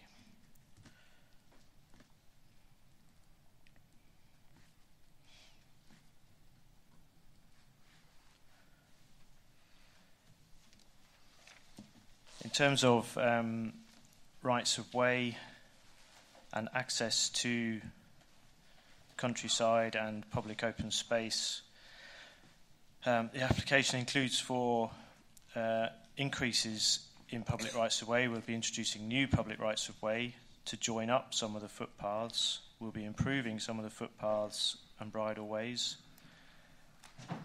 And through the development, there'll be circa 50% of which will be green infrastructure. There'll be something like 47 hectares of public open space. That's truly accessible public open space, so that's where there's currently farm fields that may or may not have a footpath around them. It'll become fully accessible public open space. So, in response to Ms. Um, Hamilton's point, we will actually be providing for a lot of the deficit in that part of Luton in terms of access to public open space. Okay, we just um, I need to be a bit careful um, Apologies, here sir. again because this is um, getting into the detail of the application that isn't necessarily in the plan that um, that I'm examining. Apologies, sir. I suppose one point on the AONB itself um, is one has to consider why, if this vast amount, vast area of landscape that's currently being proposed as part of the extension to the AONB, both to the east and west of Luton, why that was never included in the first place when the AONB was designated. AONB is supposed to be areas of outstanding natural beauty. I presume they took great care when originally designating them, but chose not to include any of the areas that are currently being put forward. There's also the issue that Natural England has reported to ourselves when we inquired about this, um, take a fairly dim view if they feel any of the applications are in any way to try and prevent development. And if you looked at the application as a whole, including to the east of Luton and the west of Luton, across central beds, it's hard to see where new housing growth could go if it all came out and became AONB.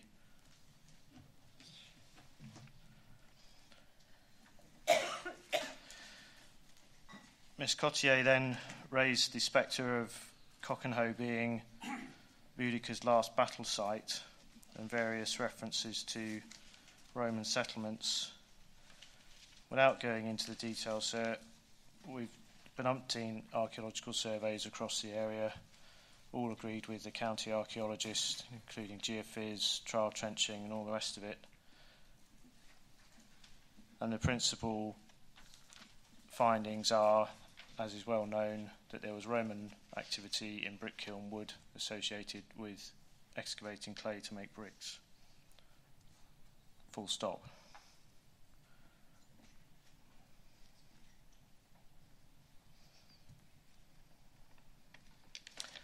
I suppose, whilst on that point as well, and before addressing some of the ecology points, of course, the allocation itself, never mind our application, specifically excludes the large woodland areas.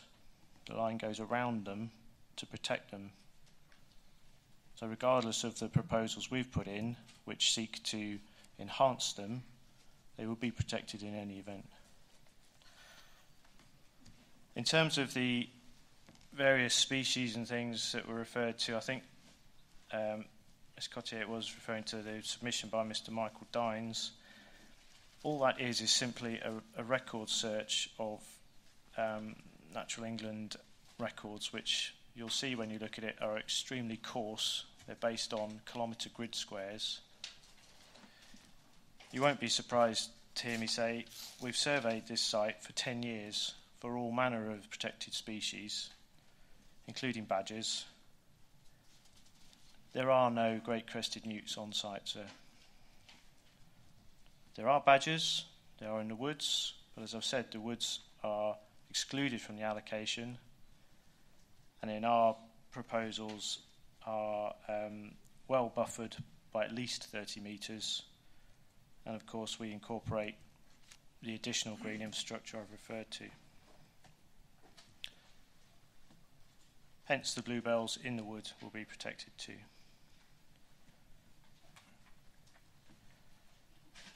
In terms of all those surveys, they've been kept up to date fully up to date in accordance with and in liaison with um, the Wildlife Trust and county ecologist.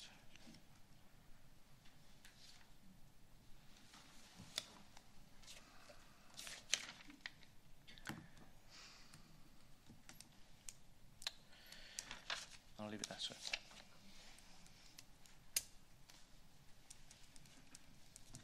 Right now, you see, I have asked people, haven't I, if they've told me everything. Very briefly, very, very briefly, Mr. Baker. Um, yes, sir. Oh, sorry. I can't let Mr. White get away with that. Bluebells don't move, badgers do. Um, the, all of that surrounding land is important for, for, for foraging of the ba- badgers. The woodland is the location of the setts. Um, and if you put a fence around it to stop people, the, the new people who are going to live all around it from destroying it, you're going to stop the badgers getting out. They're just the two large-scale housing surrounding woodland with badger setts in is not a, is not a good recipe for good planning. I'm sorry. sorry. Um, I'm not quite sure what was going on there, but um, is, is, Mr. Wood still allowed to speak, or is no, it? No, he's at that point. Same, it's been covered. Oh, okay. But at the end of the day, uh, the fact of the woodland is whether you've got a buffer or not. Are you going to be there every week to take all the sticks out of the holes and stop the persecution? It's that simple. You can't just pick up this biodiversity and the bats and the badgers and move them elsewhere. You know, they've lived there for generations and generations. You know, it's not for us to just say, clear off out, we're moving in. It's simple as that. Councillor Moles. Um, I'd also refer to the herds deer that roam the land. Um, they haven't been mentioned, and um, it's no, there's nothing more beautiful than seeing areas of outstanding natural beauty with herds of deer. Um, and they've not been mentioned, and immediately houses go on areas where there's woodland. They won't go there; they'll be too scared, and the destruction of wild animals once you get large communities around isn't very nice. Dogs run loose, etc., and they'll be hounded. Thank you, Ms. Cottier. Yeah, and that, th- what he said about there's the only archaeological site is Brickham Wood is completely and utterly incorrect there are at least 15 other sites within those boundaries that um, are in pre- are in archaeological studies um, that were done prior to theirs, and that's a well documented fact. And I can provide the names and dates of those studies if it's required. one no way.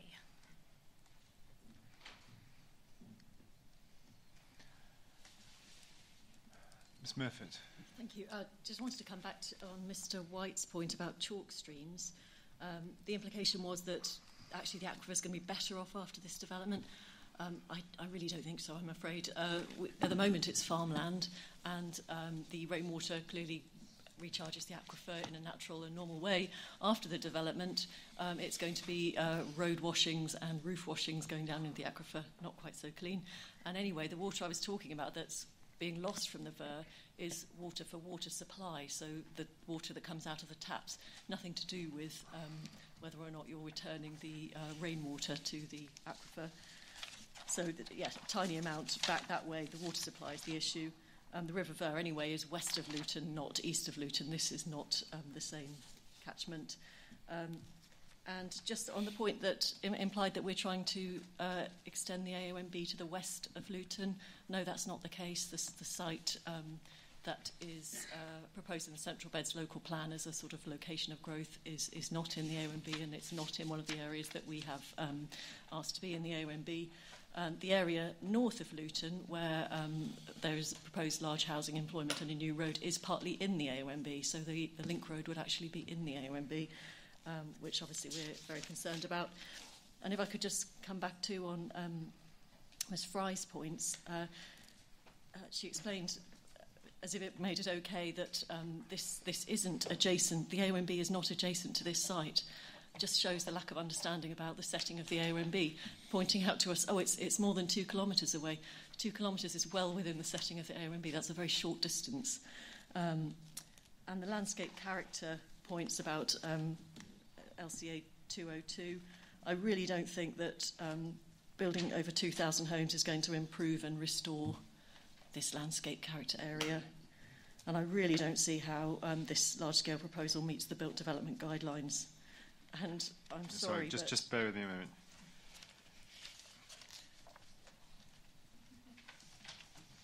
questioning this improve and restore.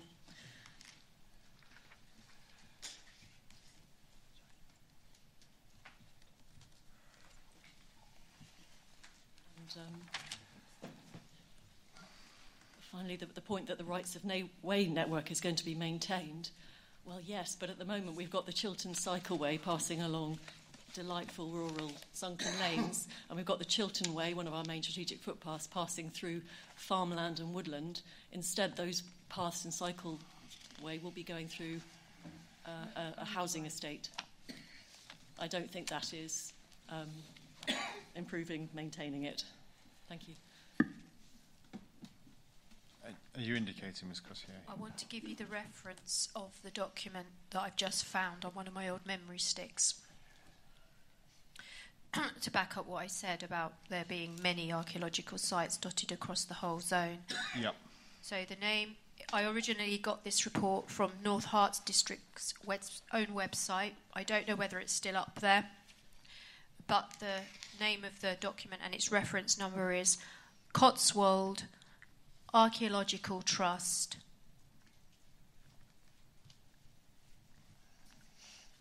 One zero zero zero zero two one zero nine Brick Kiln Project.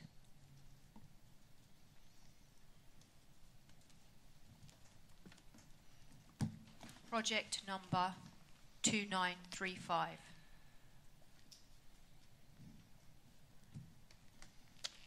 And in there are many sites, six recorded cultural heritage sites on one section of the land, two Roman and prehistoric sites, including Iron Age pottery, nine post medieval sites, eight medieval sites. 16 undated. That's on one section. On the other section, there are six recorded cultural heritage sites, 17 are undated, one is prehistoric, and it's evidenced by a small accumulation of Neolithic flints recorded 100 metres to the north of the site. There's 18 further undated sites, 11 post medieval, further 10 post medieval, and over the entirety of Mangrove Green, Ridge and Furrow has been identified from aerial photo- photographs, um, three Roman sites, and they're all listed in that. And you can you would you can see maps in the that site uh, in that uh, document. If for any reason it's been taken down and you are unable to get a copy, I can provide it to you. But I don't want to bombard you with unwelcome documents. But I have a record of it if nobody else does. Okay, thank you for that. Um, Councillor Moles. Oh, I'm sorry. I didn't. Um, and for the council, a final comment. Um, I think when the council stopped, we were still on landscape. But um, Pardon? I think when the council stopped, we were still on landscape. So um, I don't want to obviously take too much time. Obviously, you have our written comments on um, in our statement on you know, the potential impacts and um, the things we've looked at, covering the council's view on ecology, heritage, so forth. I'm not going to rehearse them at length No. here. Um, just a couple of points that I did want to, to pick up on, and one was actually just a point of broader context. So if I could just direct you to page 17 of the plan itself. Of the actual plan. The actual plan. Let's open the actual plan. Just for the novelty, I will do that. Um, and if we can bring ourselves to sort of rewind ourselves a good eight hours, where um, somewhere at the outset, either you or I um, made the point that the principal purpose of this proposed allocation was to help meet unmet needs from Luton, and it was just to direct you to the map of the housing market areas in Figure 3 and just remind ourselves that the extent to which North Hertfordshire is within the Luton housing market area and therefore the extent of the area in which it can look to make a contribution to those unmet needs is relatively small. Obviously, within that area we have the AONB. You can just about make out on that map the numbers 505 beneath the A505 as it comes out of the yellow area into the green area. half the area of the HMA in which we might look.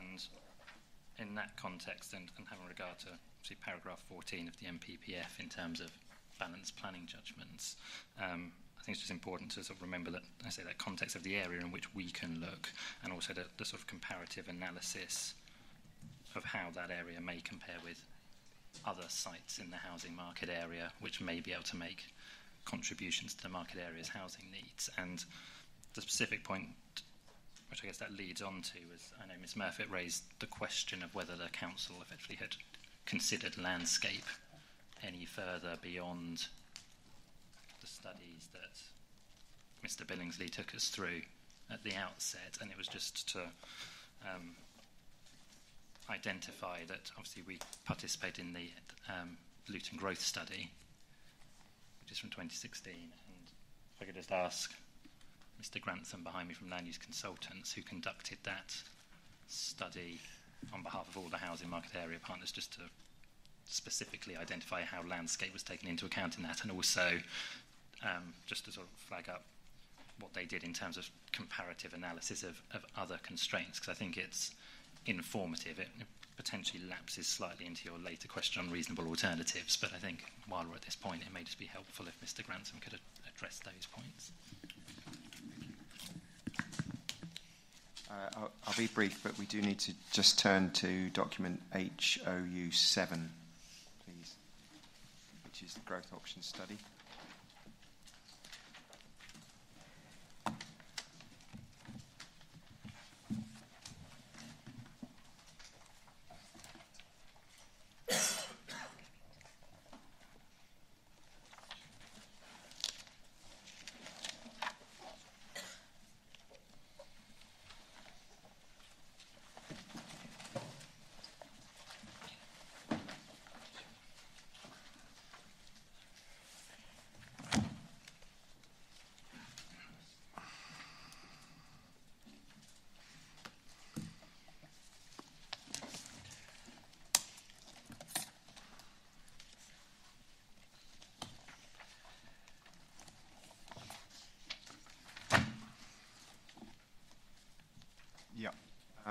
And in particular to start with Appendix 1 in, in that. And as, as you're turning to that, sir, the, the, we, we looked at 31 locations across the housing market area in the growth options study, one of which, um, location L22, is the uh, location that's been discussed um, today.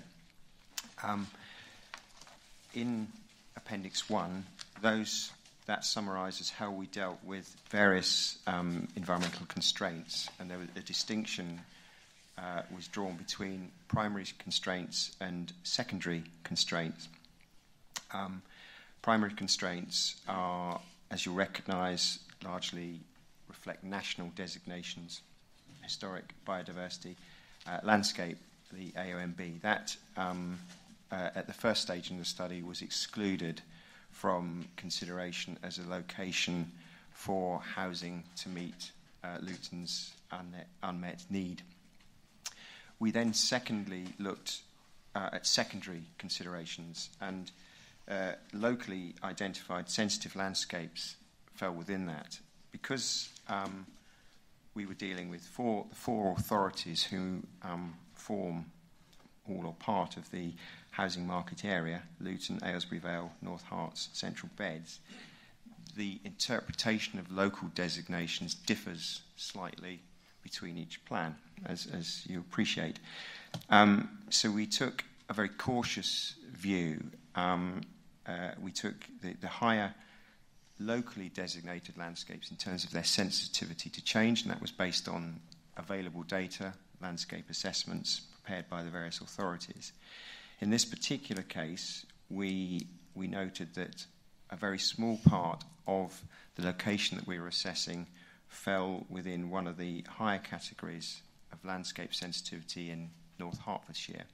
Hence, we, uh, we recorded that as it affecting a secondary landscape constraint. And at that point, I'd like to turn to refer you to table 3.1 in the growth options document, which is on page 19.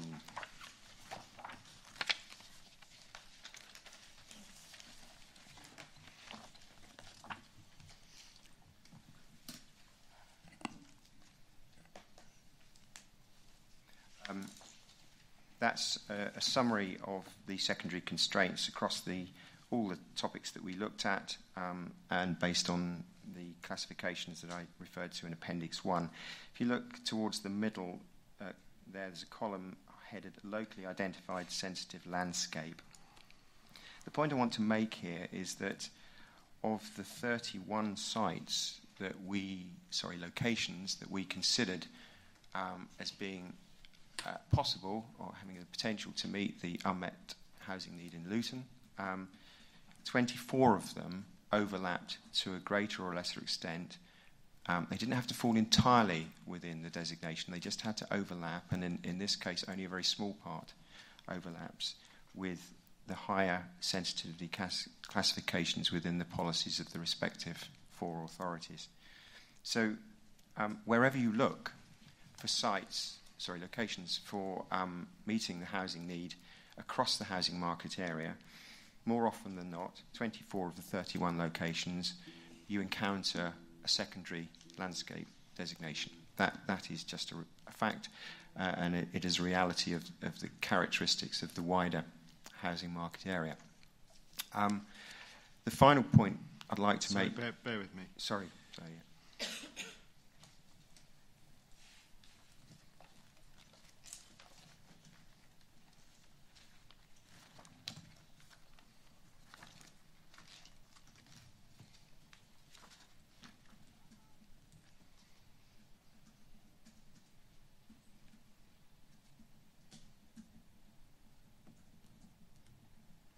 Okay. okay. As part of the um, methodology we adopted, which was necessarily strategic, that was the nature of the study, um, we did look at each individual location with the, the four planning authorities to see whether the, uh, the starting area that we, could, we were given should be either expanded or um, reduced in size. And if I can turn you to table 2.2 in, in the option study, which is on page three. Starts on, on, on, three, on page three, but actually the site is, is listed on page four, L22. Um, we discussed with officers at North Hertfordshire whether or not this area could be increased in size. Sorry, did you say in the growth study? In the growth study, yes. Sorry. Page uh, three. Page three, yes. Oh, sorry. There, it, sorry, it's, I've got an error in page number. Can I, sorry, paragraph 2.22, sir. Sorry, my mistake. My pagination is wrong.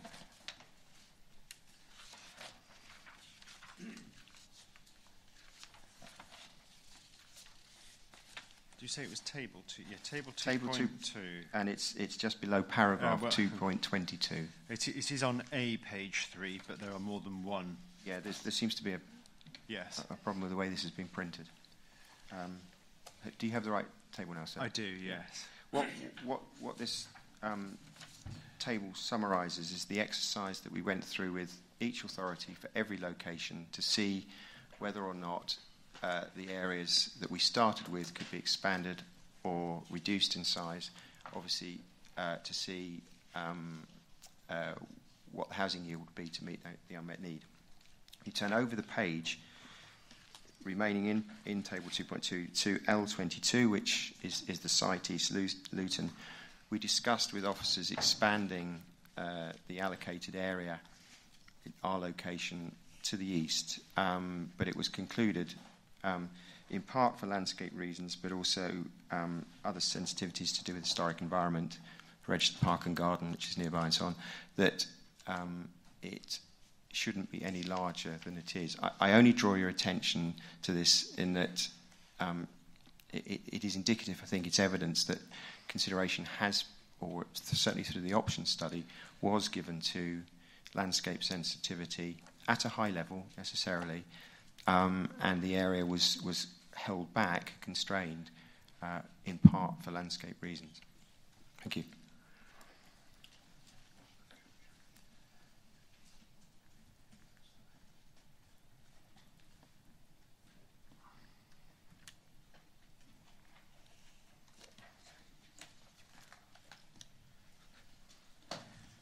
Okay. Anything else, Mr. Smith?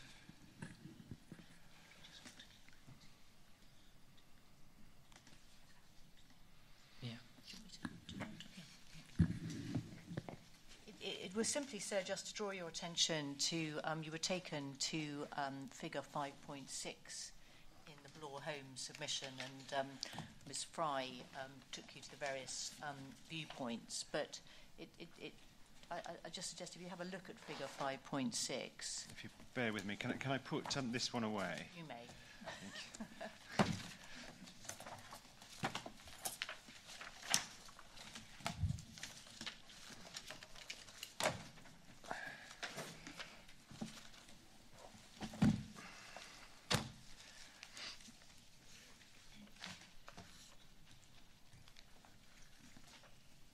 Figure 5.6. Three, four, five. Yep. So, and, and you'll see there, if you look in the key, that um, there's a brown hatched area that's marked, and it's the approximate extent of visual em- envelope. Yeah. And you'll see at the bottom, uh, it's a concept you'll be familiar with, sir. You'll see at the bottom there's an explanation as to what the visual envelope is. And um, you'll, you'll be able to see from that that the extent of the visual em- envelope is, is pretty contained. When one bears in mind the, uh, the boundary of the AONB. And obviously, this is one of the documents that the um, Natural England would have had in front of it when it um, entered into the Statement of Common Ground.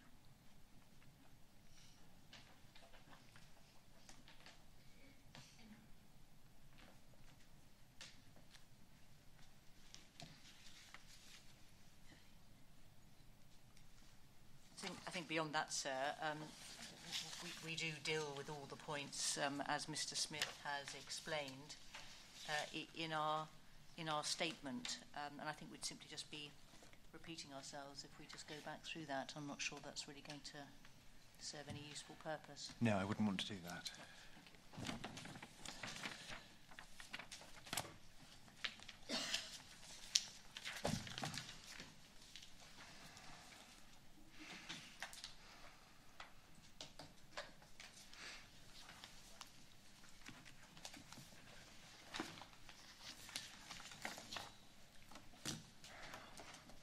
we likely to complete today?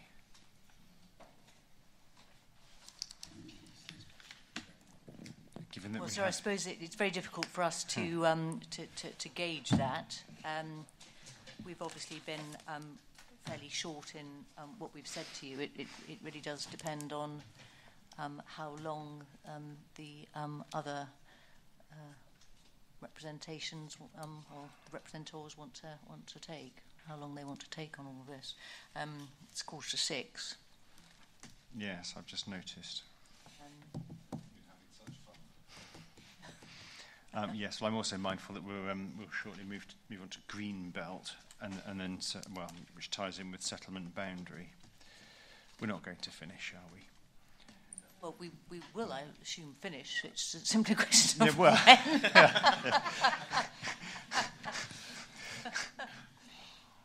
Hopefully there will be an end at some stage.